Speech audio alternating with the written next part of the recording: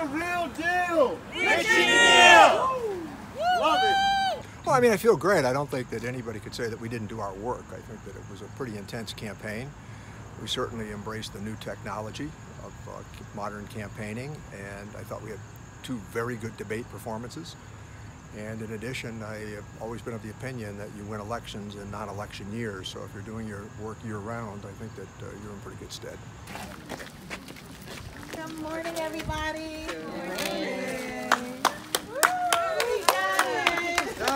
I feel really excited. I feel at peace. I started feeling at peace about 24 hours ago. I knew that the team was um, prepared. We had ex we're executing a plan that has been growing and being put into place for the past eight months. It's out of my hands, it's in the hands of the voters. They know that, and I'm just confident that they're going to deliver the, the best person to represent them over the next two years in DC.